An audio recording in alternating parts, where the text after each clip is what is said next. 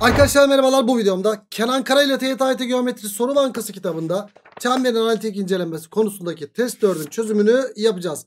Evet kitabımızda sayfa numarası 226 ve 227'yi çözeceğiz. Haydi bakalım çözümlere başlayalım.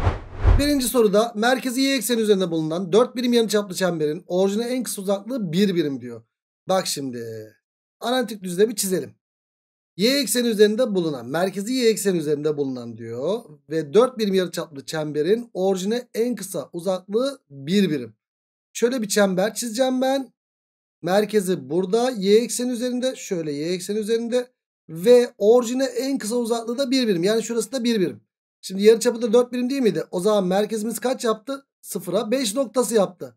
E merkezi 0'a 5 yarıçapı 4 olan çember denklemi isteniyor bizden o zaman. O zaman çember denklemi x eksi 0'ın karesi artı y eksi 5'in karesi eşittir r'nin karesi yani 4'ün karesi olur. Yani x kare artı y eksi 5'in karesi eşittir 16. A şıkkında var. Cevap A Akçay oldu. Geldik 2'ye. Evet merkez burası belirleyelim. Çemberin yarıçapı nedir diye soruluyor bize. Merkez varsa teğet varsa çektik. Merkez varsa kiriş varsa çektik. Burası 4 birim burası da 2 birim verilmiş. E şu kiriş iki eş parçaya bölecek. A, A diyelim buraya. Hocam A artı 2 ise dikdörtgenden dolayı burası da A artı 2. Bak yarıçap A artı 2 oldu. Hatta 4 ise burası da 4 oldu. E, yarıçap isteniliyor. En etkili silahımız yarıçap. Al sana yarıçap. A artı 2 de burası ya. Pisagor. A artı 2'nin karesi eşittir. A'nın karesi artı 4'ün karesi deyip işlem işlem işlemle A'ya ulaşacağız. 4 varsa büyük ihtimalle 3 4 5 üçgendir. 3 koyarsam 3 4 5 sağlaması tutuyor mu? Tutuyor. A'yı 3 bulduk ama yarıçap uzunluğu A artı 2 olduğundan cevap 5 çıkar. Evet ikinci soru Ceyhan oldu. Geldik 3'e. Şimdi birinin merkezi eksi 6'ya 12 verilmiş. Yarıçapı 6. Öbürünün merkezi de eksi 18'e R verilmiş. Hmm.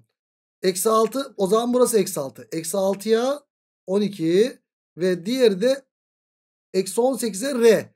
Eksi 18'e R ve yarıçapı da R verilmiş. Tamam. Çemberler birbirine dediği zaman merkezleri birleştirir. Yarıçapı R. Bunun yarıçapı 6.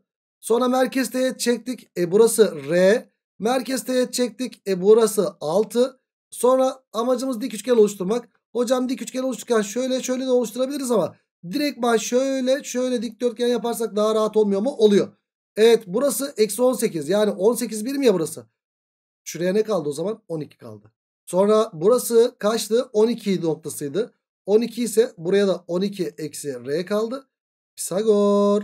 Yani R artı 6'nın karesi eşittir. 12 eksi R'nin karesi artı 12'nin karesi deyip işlem işlem işlem. Acaba özel üçgen var mı? 5, 12, 13 üçgeni mi? 13 olması için 7 olması lazım. 12'den 7 çıkınca da 5 yapıyor. Evet R buradan ne geliyor arkadaşlar? 7 geliyor. Bizden R isteniliyor zaten. Cevap böylelikle Akçay oldu. Üçüncü soruda. Güzel soru. Geldik dördüncü soruya. Şu teğet teğet. Ne demiş soruyu bir okuyalım bakalım. Analitik düzleme yerleştirilmiş bir tekerlek verilmiştir. Tekerleğin dış çemberinin denklemi yani şu dış çemberin denklemi merkezi 0'a 0 yarıçapı da kaç olan 4 olan bir çember denklemi. Evet dış çemberi merkezi 0'a 0 ve yarıçapı da 4 olan. Tam burası 4 noktası. Tamam. Tekerleğin dengede durması için A ve B noktalarına teğet olan iki çubuk monte edilmiştir. ATB 60 derece verilmiş. Geometrik yer denklemi nedir diye soruluyor. T'nin geometrik yer denklemi. Hmm. Şu soruluyor bana arkadaş. T öyle bir nokta ki tekerleğe şöyle şöyle teğet olacak ve 60 derecelik açıyla görecek. Sadece burada mı görüyor? Hayır. Burada da böyle teğet teğet 60 derece olacak. İşte buradaki T noktalarının geometrik yeri isteniliyor bizden. Arkadaş ilk önce şu T noktasını yorumlamaya çalışalım. Şu teğet teğet olunca merkezden geçince ne oluyordu? Açı ortay oluyordu. E ben şurayı kaç buldum arkadaşım? Yarıçapı 4 buldum. E yarıçap uzunluğu 4 birim. Merkez varsa teğet varsa çektik yaptım. Burası da 4. E burası da 30 ya. 30'un karşısı 4 ise 90'ın karşısı kaç yapacak? 8. Ben buradan da seçsem şöyle teğet teğet 60 derecelik açıyla görse yine aynı hamleleri yapsam şöyle. Hocam 30 30 şu merkez teğet çektik. Burası 4 ya 30'un karşısı 4 ise 90'ın karşısı 8 olacak. Yani buradaki hep T noktaları şu merkeze kaç birim uzaklıkta olacak? 8 birim 8 birim uzunluğunda olacak değil mi? Yani o zaman ne demek? Bu 0 0 noktasına yani merkezi 0 0 olan 8 birim uzunluğundaki noktaların geometrik yeri isteniliyor bizden. O da bir noktaya 8 birim uzaklıktaki noktalar bize çember belirtmez mi? İşte T noktaları tam böyle bir çember üzerindedir arkadaşlar. Bu çemberin denklemi isteniyor. Geometrik yer demek denklem demek zaten. E o zaman merkezi sıfıra sıfır olan x eksi sıfırın karesi artı y eksi sıfırın karesi eşittir. 8'in karesi bana denklemi verir. Yani 64 yapar o da. O zaman dördüncü soru Edremit oldu. Güzel soru. Dikkat edin ÖSYM bunu sever. Geldik beşinci soruya. Aşağıda daire şeklinde bir oyun parkı ve parka yakın bir yol verilmiştir. Şöyle bir yol verilmiş. Oyun parkının genel denklemi şu. Merkezi kaça kaç? Merkezi 3'e eksi 2 olan ve yarıçapı da 5 olan bir çember denklemi. Tamam yarıçap da 5. Şimdi doğrunun e, yolun denklemi de şu şekilde verilmiş. Buna göre oyun parkının yolun doğrusal kısmının en kısa uzaklığı nedir diye soruluyor. Oyun parkının yani şu çemberin bu doğruya en kısa uzaklığı. Arkadaşlar ben bu noktanın doğru olan uzaklığını bulursam şurayı bulurum. H'ı. Yarıçap uzunluğu belli. Yarıçap uzunluğu zaten 5. E, zaten bizden ne isteniyor? Şuradaki soru işareti olan kısım isteniyor. Yani oyun parkının yola en kısa uzaklığı nedir diye soruluyor. O zaman ben noktayı şöyle bir doğru yerine yazayım. Çünkü noktanın doğru olan uzaklığını bulacağım. X yerine 3 yazdım 9. Y yerine eksi 2 yazdım artı 8 artı 33 bölü mutlak değer içerisinde a kare artı b kareydi. Yani 3 4 5'ti. Bu bize h'ı verir. 17 artı 33 50 yapar. 50 bölü 5'ten 10 yapar burası. E hocam h'ı 10 bulduk böyle. E burası kaçtı zaten yarı çap 5'ti. E burası 5 burası 10 sa soru işareti kısmına da ne kaldı o zaman 5 kaldı. En kısa uzaklığı böylelikle 5 yani 5. soru Edremit oldu. Geldik 6'ya. Bu çemberi üzerindeki 4'e 2 noktasında çizilen çemberinde üzerindeki 4'e 2 noktasında çizilen teğetin eğimi isteniyor. Arkadaşlar basit bir şekilde şekli çizeceğiz. Üzerinde olduğunu nereden anlarız? Ya böyle merkezi belirleriz. Merkezimiz 1'e eksi 2. Merkezle bu nokta arasındaki uzaklık yarıçapa eşit olacak deriz. Ya da ne yaparız? Üzerindeki bir noktaysa denklemi sağlayacak anlamına geliyor. Değil mi? Yarıçap lazım mı? Bize değil. Üzerindeki bir nokta diyor bize. 1'e eksi 2 noktası şöyle. İşte çizilen bu teğetin eğimi isteniyor. Arkadaş merkez neydi burada? Merkezimiz de pardon üzerindeki nokta 4'e 2 noktasıymış böyle. Merkezde 1'e 2 verilmiş. 1'e eksi 2 verilmiş pardon. E merkez varsa teğet varsa çeyrek dik yapsak şöyle. Aa hocam 2 doğru dik kesiyor. Eğimler çarpı eksi 1. O zaman ben bunun eğimine m1 diyecek olursam y'ler farkı 4 bölü x'ler farkı 3. Bunun eğimi 4 bölü 3 ise bunun eğimi de eksi 1 çarpı eksi 1 olacak ya. Ters çevirip eksiyle çarpacağım. Eksi 3 bölü 4 olmaz mı? Olur. O zaman eğimi verilen teğet doğrusunun eğimi eksi 3 bölü 4 olur. Altıncı soru denizli olur. Geldik 7'ye. Aşağıda bir dik koordinat düzlemine yerleştirilmiş bir bisiklet verilmiştir. Tekerleklerin dış çemberlerinin denklemi verilmiş. Tamam. Yani şunların denklemi verilmiş. Birisi merkezi 0 0 yarıçapı 4 olan. Evet yarıçapının 4 olduğunu biliyorum şunun. Öbürü de merkezi 20'ye 15. Hocam burası 20'ye 15. Ve yarıçapı da bilmiyorum. Şimdi A ile B noktalar arasındaki uzaklık neymiş? A ile B noktalar arasındaki uzaklık bize verilmiş. Burası. 16 verilmiş. Merkez varsa kiriş varsa çektik yapsak. 8 8 diye keş parçaya böldü. E, hocam burası apsisi 20 ordinatı 15 yani burası 15 demek. E, en güzel çizim yarıçap 8 15 17'den yarıçapı da 17 bulduk. E hocam bu normalde n dediği r kare eşittir. R karede kaç yapıyor? 17'nin karesi 289 yapıyor. N dediğimiz o zaman 289 oldu. Buna göre tekerleklerin dış çemberlerin birbirine en yakın uzaklığı nedir diye soruluyor. Ee, şu dış çemberlerin en yakın uzaklığı nedir? Merkezleri birleştirdiğimizde şu arada kalan yer en yakın uzaklık değil midir? Evet. Şunun yarıçapı zaten 4. Bunun yarıçapı zaten 17.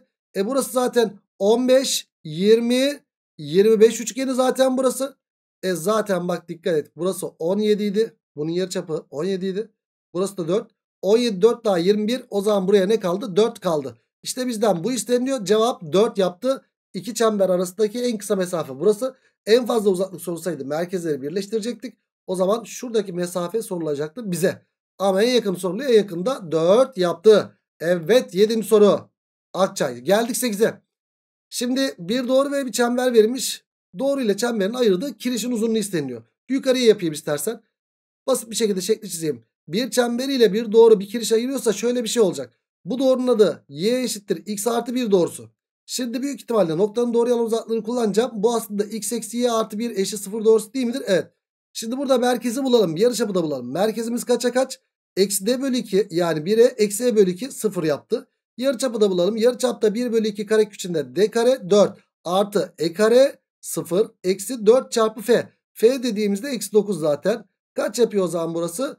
Artı 36 4 daha 40 yaptı. E o zaman burası 40 sa Şimdi 40 2 kök 10 yapıyor kök 10 yapıyor. Yarı çapı da kök 10 olarak bulduk. Tamam. Geldik buraya. Merkezi belirledik. 1'e 0 noktası.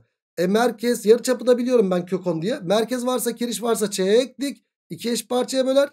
E, bu yarı çap uzunluğunu da biliyorum ben. Yarı çap uzunluğu da zaten kök 10. Arkadaş ben burada noktanın doğru yan uzaklığını bulursam Pisagor'dan çizgiyi bulurum. Zaten kiriş uzunluğu isteniyor. Şu kiriş uzunluğunu da sonrasında buluruz. Hadi bakalım noktanın doğru yalan uzaklığına bakalım. Noktanın doğru yalan uzaklığı. Noktayı da orada yerine yaz. Şu soru işaretlediğim kısım. Ee, x yerine 1 yazdım. Eksi y yerine 0 yazdım. Artı 1 mutlak değerce bölü. Kare içinde 1'in karesi artı eksi 1'in karesi yapar. Hocam yukarısı 2 bölü aşağısı kök 2 yaptı. Kök 2 eşlerini çarparsam 2 kök 2 bölü 2'den kök 2 yaptı. Arkadaş soru işareti kısmı kök 2 oldu. Karesi eksi karesi 10 eksi 2'den kök 8 yaptı. Burası kök 8 dediğimizde 2 kök 2'dir. E o zaman burası da 2 kök 2. Toplamda şu uzunluk kaç yaptı? 4 kök 2 oldu. Bizden de o isteniliyor. 8. soru denizli oldu. Geldik 9'a. Bu ne demek? Merkezi 0 0 yarıçapı 2 olan çember. Ama küçük eşit dediği için iç bölgesi. Hemen analitik düzlemi çiziyorum. Şöyle analitik düzlemi çiziyorum. Merkezi 0 0 olan ve yarıçapı kaç olan? 2 birim olan çemberi çizdim. Ve küçük eşit 4 dediği için aslında iç bölgesini alacağım. Tamam içi aklında bulsun. Bir de x artı y eksi 2 büyük eşit 0 diyor. Arkadaş burada 0 0 koyduğumda eksi 2 büyük eşit 0 sağlandı mı sağlanmadı. O zaman doğruyu çizdiğimizde 0 0'a bakan yürü olmayacak. Şimdi x yerine ben 0 yazsam x yerine 0 yazdığımızda y'si 2 geliyor. y yerine 0 yazdığımızda da x'e 2 geliyor. Yani 2'ye 2 noktasından geçen doğru. Zaten bunun yarıçapı 2 idi. Şöyle 2 2. 2'ye 2'den geçen doğruyu çizdik. Ve 0 0 koyduğumuzda sağlamadı ya. 0 0'a bakan bölge değil üst tarafı. O zaman hem çemberin içi hem doğrunun üst tarafı her ikisini de sağlayan bölge. Burası yaptı. Bu bölgenin alanı isteniyor bizden. Çeyrek dairenin alanından üçgenin alanını mı çıkartacağım? Evet. E peki yarıçap belli mi? Belli. Çeyrek dairenin alanı pi r kare bölü 4 eksi üçgenin alanı da 2 çarpı 2 bölü 2. O zaman şunlar gitti. Pi eksi bunlar gitti. 2 yapar alan. Evet cevap Akçay oldu 9. soruda. Geldik ona. Evet çemberinin y eşittir 3x doğrusu ile ortak noktaları bulunmamaktadır. Hmm. Bir çember ile bir doğru ortak noktası bulunmuyorsa bunlar kesişmiyor demektir. Bu ne demek? Noktanın doğruya olan uzaklığı kesinlikle yani nokta dediğim merkez oluyor burada. Merkezimizde kaç? Eksi de bölü 2 eksi e bölü 2. O zaman o zaman o zaman o zaman şöyle yapayım. Eksi 1 bölü 2'ye eksi 1 bölü 2 yaptı. Sen noktanın doğru yalan uzaklığı büyüktür ne diyeceksin yarıçap deyip oradan yapabilirsin. Birinci yol bu. İkinci yolda matematiksel olarak düşüneceğiz. Matematiksel olarak da şöyle düşüneceğiz. Arkadaş iki tane yani şu, şu verilen denklemler kesmiyorsa o zaman çözüm kümesindeki delta küçük sıfır olması mı gerekiyor? Evet. Eğer şunu düşün. Çember ile doğru tek bir noktada kesmiş olsaydı delta sıfır olacaktı. Çember ile doğru iki noktada kesmiş olsaydı delta büyük sıfır olacaktı. Çember ile doğru e, hiçbir noktada kesmiyorsa delta küçüktür sıfır olacak o zaman. O zaman matematikten yapmak daha mantıklı. Şimdi buradaki sayılar gıcık geldi bana. O yüzden matematikten yapayım. Yani delta'nın ne olmasına bakacağım. Küçük sıfır olmasına bakacağım.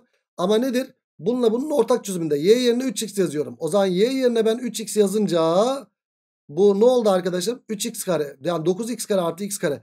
10x kare artı x artı y yerine 3x yazıyorum. Y yerine 3x yazdığımızda burası 4x yapıyor o zaman artı k eşit sıfırda bunun deltasına bakacağım. Delta dediğim b kare yani 4'ün karesi eksi 4 a c. Bunun ne olması lazım? Küçük sıfır olması lazım. O zaman 16 küçüktür 40k yapar. Buradan 16 bölü 40 küçüktür k yaptı. Yani 4'e bölsen ya da 8'e mi bölüyoruz? 8'e bölsen 2 8'e bölsen 5 2 bölü 5 küçüktür k oldu. Yani k 2 bölü 5'ten büyük olacak. En küçük tam sayı değeri nedir diye soruluyor. O zaman 2 bölü 5'ten büyükse en küçük tam sayı değeri de nedir? 1'dir. Yani 10. soru Edremit oldu. Dediğim gibi merkezin doğru yalan uzaklığı yarıçaptan büyük yorumlamasıyla da sonuca ulaşabilirdik. Evet bu yorumları da bilin arkadaşlar. Güzel yorumlar bunlar. 10. soru Edremit oldu. Geldik 11. soruya. K-9'a 2 noktasından geçen ve analitik düzlemin ikinci bölgesinde her iki eksene de teğet olan. Evet her iki eksene de teğet olan çemberi çizelim ve ikinci bölgede olacak. Arkadaş ikinci bölgede ve eksi 9'a 2 noktasından geçecek. Eksi 2 burası değil midir arkadaşlar? Eksi 2'ye 9 noktası. Evet. Eksi 9'a 2 noktası burası. O zaman çemberimiz ne olacak arkadaşlar? Şöyle bir çember mi olacak? Evet. Ama şu da olabilir. Hocam şurası ya çemberimiz şöyle de olabilir. Bak bak bak bak bak şöyle de olabilir. Şurada teğet olup şuradan geçebilir böyle. Böyle de olabilir. Yani büyük ihtimalle iki tane çemberle karşılaşacağız burada. E o zaman ne yapacağız? Şurada işlemimizi yapalım arkadaşlar. Şurada merkezimiz burasıysa merkez teğet çektik. Merkez teğet çektik. Hocam bu da R bu da R. E, merkezimiz ne oldu o zaman arkadaşlar? Merkezimiz R birim solda R birim yukarıda. Yani eksi R'ye R olur. E o zaman ne yapacağız? İki nokta arasındaki uzaklığa bakacak olursak R'ye eşit olacak. Yani R eşittir iki nokta arasındaki uzaklık. Yani x'ler farkının karesi eksi R eksi eksi 9'un karesi. Eksi R artı 9'un karesi. Artı R eksi 2'nin karesi mi? Evet R eksi 2'nin karesi karekök içerisinde. İşte böylelikle biz neyi bulacağız? Yarıçapı bulacağız. Hadi bulalım bakalım. E hocam buradan ne geliyor? karesini aldığımda R kare geldi eşittir. Bunun karesini aldığımda R kare eksi 18R artı 9 değil 81. Artı bunun da karesini aldığımda R kare eksi 4R artı 4 yaptı burası. Hocam buradaki R kareler gitti. O zaman burada R kare kaldı. Eksi 22R kaldı. Artı 81 artı 4'ten 85 kalır. Şimdi buradan çarpanlara tabi bu eşittir 0 oldu. Çarpanlara ayıracağız. 5'e bölsek 17. 5 17 yapıyor. Eksi 5 eksi 17 dersem çarpımları bu. Toplamları da eksi 22 veriyor. Yani R eksi 5'e R eksi 17. Dediğim gibi iki tane çember çıktı. Bu 0 ise R'yi 5 buluruz. Bu 0 ise R'yi 17 buluruz. Hadi bakalım R 5 ki duruma bakalım. Yani merkezi eksi, eksi 9'a 2 olan pardon. Merkezi kaça kaç olan? O zaman bir 5 yazalım. Merkezi 5'e 5 olan 5'e 5 değil eksi 5'e 5 olan ve yarı çapı da kaç olan?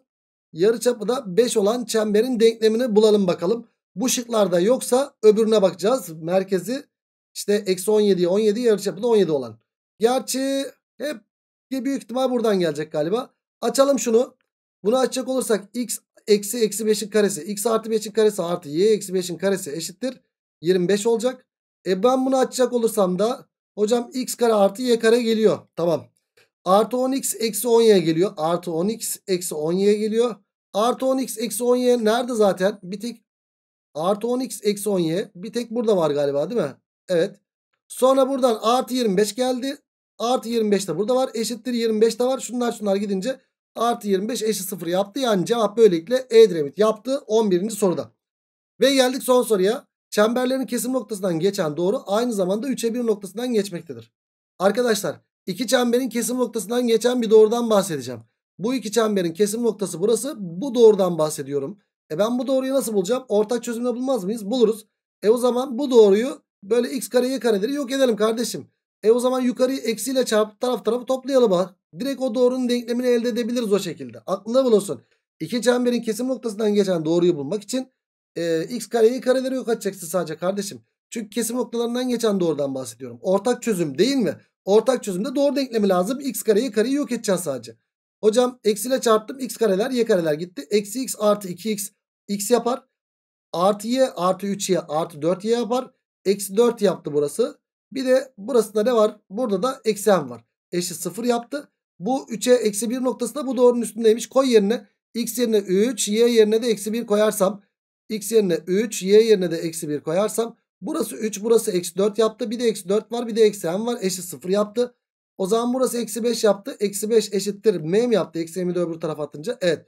Yani bizden m isteniyor. Cevap böylelikle ne çıktı? Akçay çıktı. Bakın bu sorularda yine güzel şeyler öğreniyorsunuz. Daha önce çözmediğimiz bilgileri. Demek ki iki çemberin kesim noktasından geçen doğrunun denklemini ortak çözümle yani bir denklemi eksiyle çarpıp taraf tarafa toplayarak bulabiliyormuşuz. Evet 12. soruda Akçay yaptı ve test 4'ü bitirmiş bulunuyoruz. O zaman ne diyoruz? Bir sonraki dersimizde test 5'in çözümünde görüşmek dileğiyle. Kendinize iyi bakın. Hoşçakalın.